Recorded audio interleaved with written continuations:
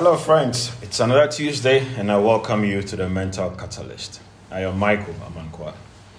The Mental Catalyst, or TMC, is a show that seeks to empower everyone to achieve their purpose and full potential on earth.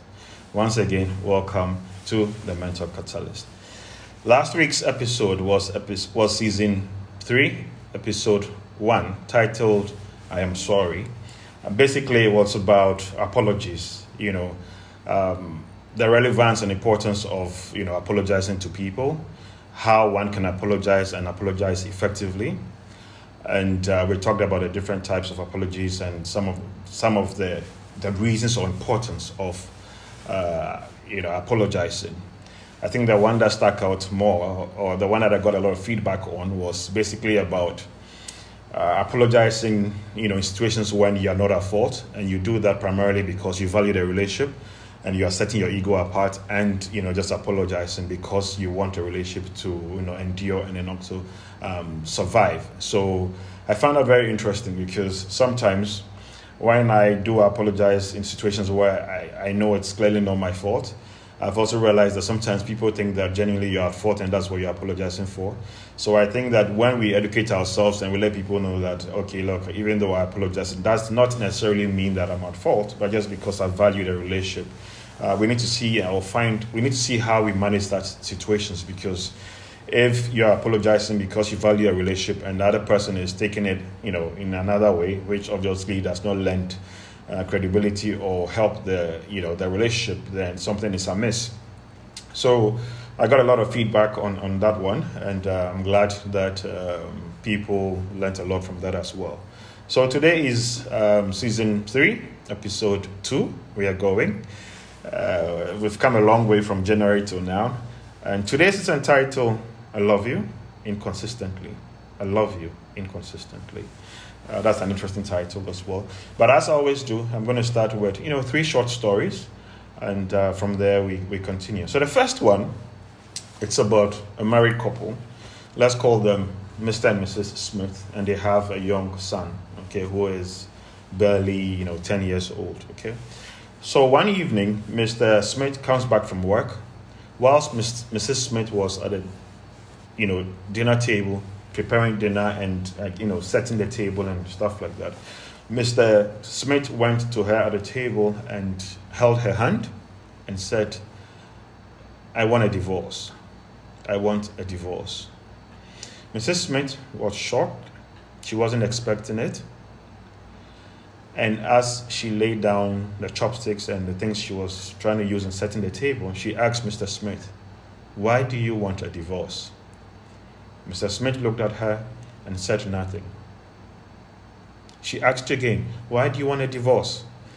Mr. Smith said nothing. At that point, Mrs. Smith said, You're not a man. You're a coward. You're not a man. That night, they didn't have dinner and they didn't speak.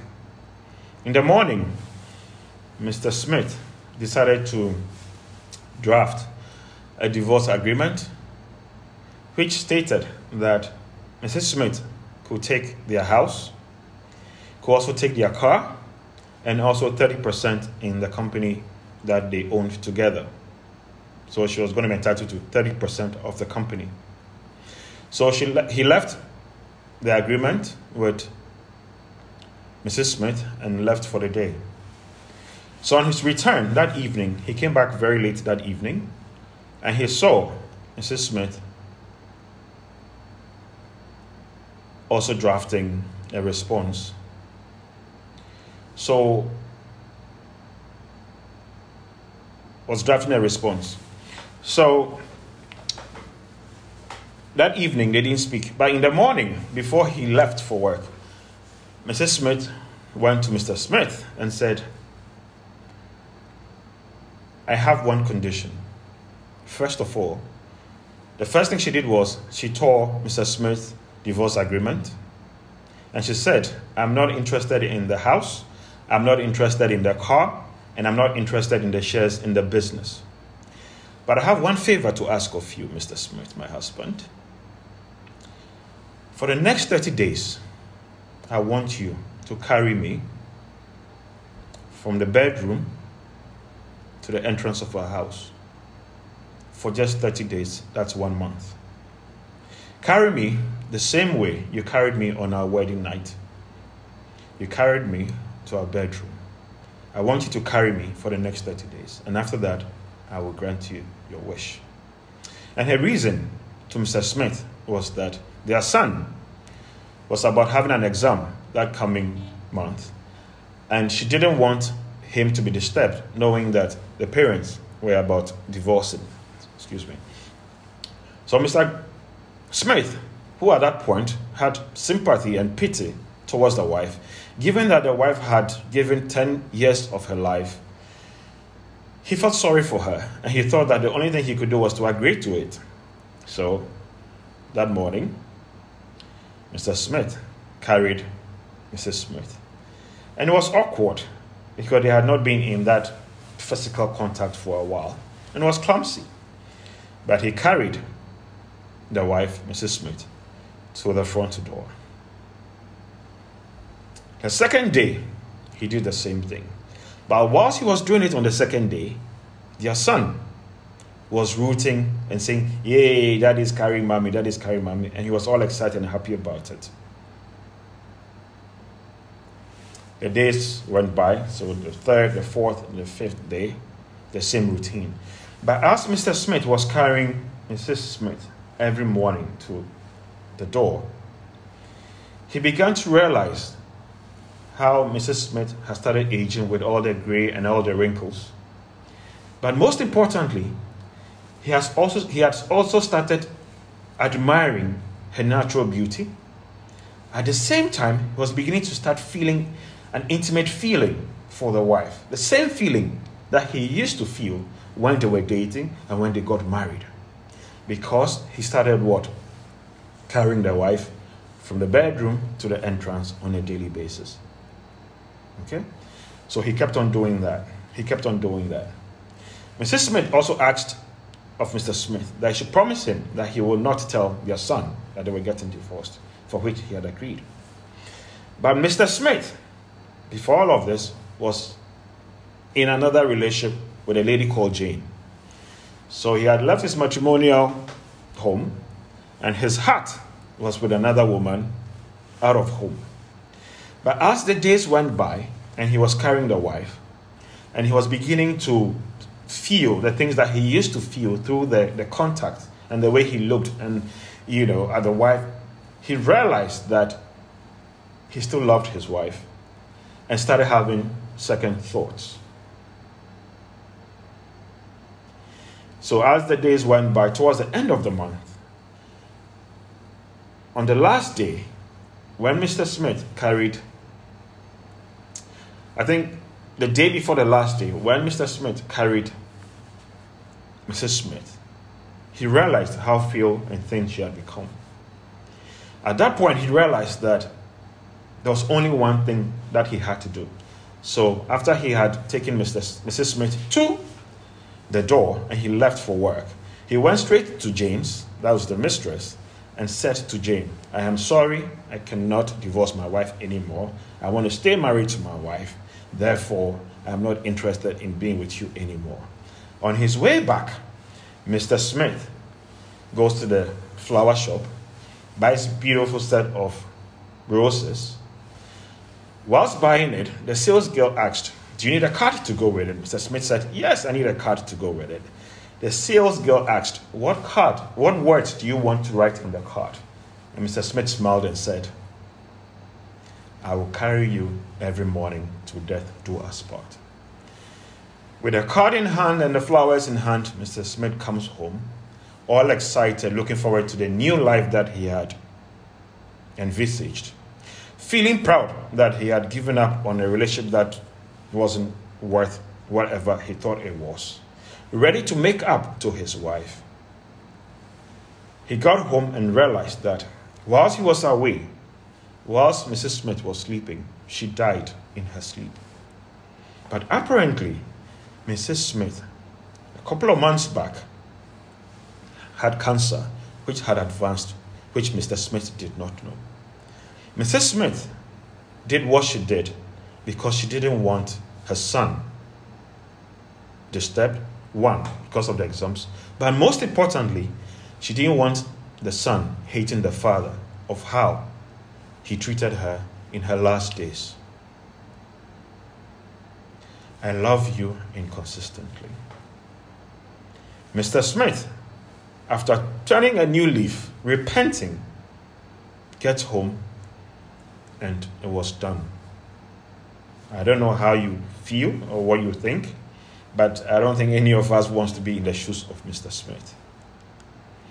The second story, it's a shorter one, which is about the Chinese bamboo.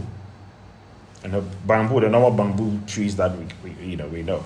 But this is a different type of grass, which is called the Chinese bamboo. It takes five years, five years after you plant the seed of this Chinese bamboo for it to break ground. Now, this Chinese bamboo seed, when you plant it, every day you have to water it, you have to add fertilizer to it, you have to nurture it, you have to pamper it. And for five years, every day you have to do this. If you don't do it for two to three days, it, the seed dies and it doesn't sprout, it doesn't germinate, it doesn't break ground. And you don't see anything whilst you are catering for this seed in the ground for five years. But after five years, the Chinese bamboo, the Chinese bamboo seed breaks ground and within six weeks grows up to 90 feet. So for five years, nothing happens. Yet you have to constantly water, add fertilizer, pamper that little ground that that seed is in, and you see nothing for five years. But when it sprouts, breaks ground, within six weeks, that is a month and two weeks, it grows 90 feet. So basically, you can actually watch it growing. Okay? Growing. And the last one is as a business, we use the services of Amazon Web Services. And when I was preparing for today's session and I was looking for a company that has been consistent in their service delivery, their customer experience, I couldn't think of any other company but Amazon. Anytime that I contacted Amazon for support, they always went beyond what they ought to do. They always wowed me with their support and feedback and support. To the point where when people tell me, oh, you know what, you can use Microsoft Azure, you can use Google Cloud, and all of that, I, I'm not even interested. Now, what do these three stories have in common? At the core of these three stories is love, is consistency, is inconsistency, and patience. We all say we love, we love, we love, but we are inconsistent in the way we deliver our love. We are inconsistent in the way we deliver our love. So when you take the story of Mr. and Mrs. Smith, Mrs. Smith was patient, she was loving. Mr. Smith loved but was inconsistent. But was inconsistent. You take the story of Amazon, they constantly ensure that they are giving their customers their very best.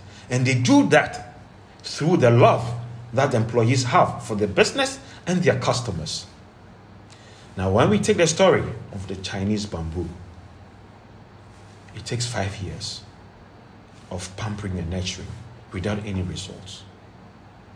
How many of us can be that patient in our dealings for an ultimate result, such as that of the Chinese bamboo. So today, we're talking about love, patience, tolerance, understanding, and not giving up. What is the definition of inconsistency? Lacking in consistency, agreement, or compatibility and variance. And as I always do, I give some quotes. So the first one inconsistency is the only thing in which men are consistent. Inconsistency is the only thing in which men are consistent. Charlie, this is not good for the men, man. So it means that men, the only thing they can be consistent with is inconsistency. They can't do anything according to what is expected. This is by Horace Smith.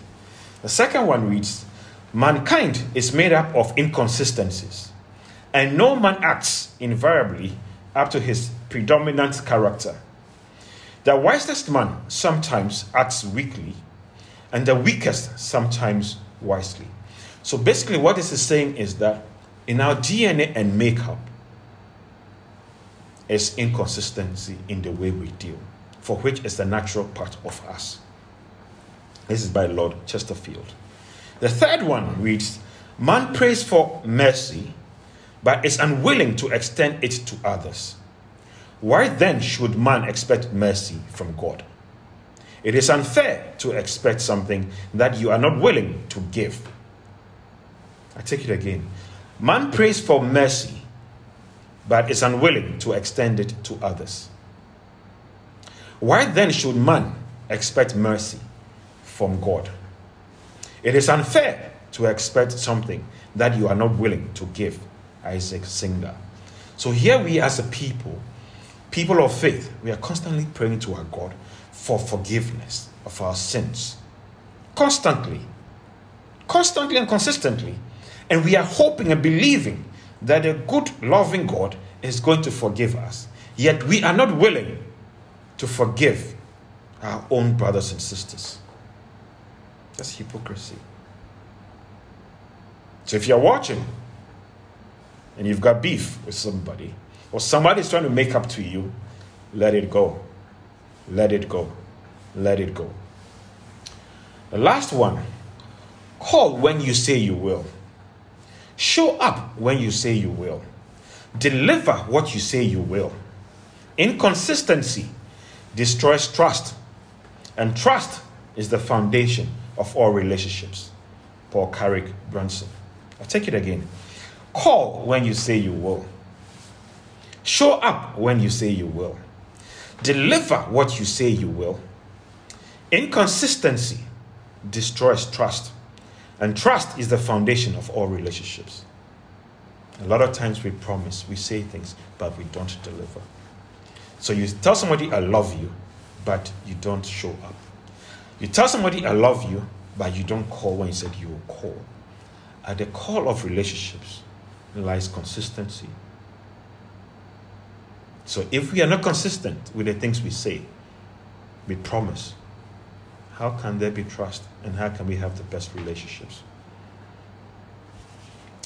So, here are some tips for how to be consistently consistent. Okay? So, some tips on how to be consistently consistent. So, the first one is have a consistent morning. So, have your morning routine. You wake up, you probably brush your teeth, whatever, have your morning devotion, read a book, and do whatever. Yeah. So have that morning ritual, but do it consistently. So it sets it, it, it sets the stage. It sets the tone for what your day is going to be like. So we are talking about learning to be consistent with stuff that we do. So your, your morning, you can have your morning rituals, but do it consistently. Okay? The second one is write it down. Okay? Write it down to focus.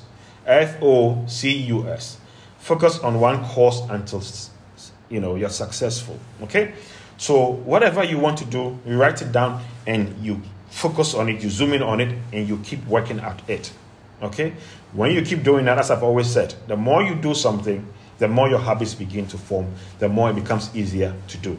Okay? The third one is ask yourself what's the best thing you can do right now? At any moment ask yourself what is the best thing you can do? What is the best thing you can do with your time? Remember, I've always talked about being conscious. Being conscious. Yeah, a lot of times we live, we go through life without being conscious of how we feel, what we think, what others are thinking, what they are feeling. We just bulldoze through life and we miss a lot of beautiful moments and things like that. Okay? The fourth one, consistent thinking. As I've always said, I have discovered and realized that my life is today more meaningful than all my previous years because I decided to figure out what my purpose on life is. And I've also realized that the more I'm conscious of the things that matter and I'm constantly thinking about it, I've found an inner calm, an inner joy, and I worry less of so many things that I used to worry about. I find myself loving in ways that I normally would not. I find myself accepting to be vulnerable, normally in ways that I wouldn't have. But all of this is possible because I'm consistently thinking about how do I become a better person. Even when somebody says, hey, they don't want to be friends with you anymore, they don't want to be super cool with me anymore, I still find within myself to still love them regardless. Because guess what? I have put myself in their shoes and I've tried to understand where they're coming from. But this is possible only because I'm consistently thinking about how to become a better person, a better lover, a better friend, a better boss, and all of that. A better father, a better, you know, name it. But you have to what? Be consistently thinking about it. How do you become a better person in whatever sphere of your life you know you find yourself? And then through that, be consistent with your behaviors. I'm going to call, you call. I'm going to show up, you show up. Yeah? Be consistent. But if there are times for which you are challenged, you cannot, let it be known. Let it be known. Say, hey, I'm sorry, I'm running late. Sorry, I can't make it. Something made, came up, but I'm going to make it up. But not only do you say it, but put in the effort. It's not about words, it's about deeds. Okay? Don't let self doubt creep in. I've always said, a lot of times, fear stops us doubt about am I am I beautiful enough? Am I competent enough? Am I qualified enough? And all of that. The good Lord made us in His own image. We have all that it takes. So stop, stop, stop allowing self doubt to cripple you from living your best lives. It starts with what? The consciousness, talking to yourself, listening, and investing in yourself, through which you become confident, through which you are able to put one step in front of the other. Okay? Do it even if you don't feel like it. Dress up when you don't even feel like it. Go. Take that initiative. Make that first step and keep going. No matter how you feel, keep going. If you are in the benefit mindset, whereby you are looking at developing yourself, not just for yourself, but for the good of society and mankind, you will find the strength to put your foot, one foot in front of the other. And then when there are times, there are going to be times when you are tired and you are beat. Take time off. Take time off. It's time. It's okay to take a vacation. It's okay to take a break. It's okay to chill and relax. You're only human. But don't forget that don't be in that state for long.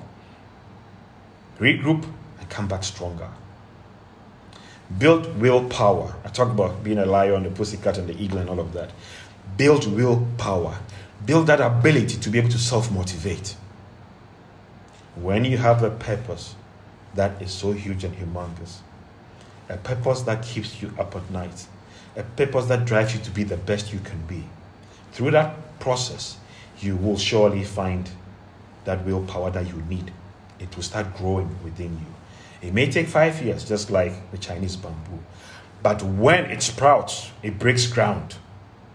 Trust me, it's beautiful. And that is where I want us all to be. On Saturday, I went for my run in support of Run for a Cure, the cancer 5K virtual walk race. I had slept for two and a half hours that Saturday. I set my alarm clock for 5:30. I could have made so many excuses why I didn't have to go. I had registered, I had paid my you know, my registration fee. But I woke up and went for the walk. Prior to this, I've always heard and known of Run for a Cure and other similar courses. A lot of times, as a business, you get sponsorship requests and things like that.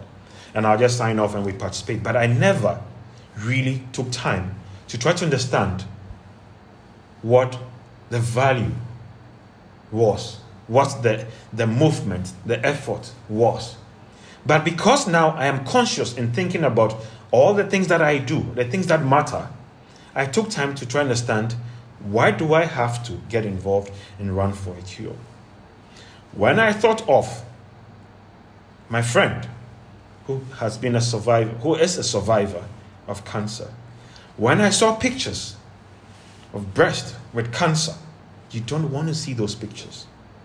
And when I think of my female besties, people who have stood by me, supported me, loved me unconditionally, when I look at my own da- daughter, I look at my own mother, and I look at all the women out there, there was no excuse that could be bigger than going out there to support such a cause.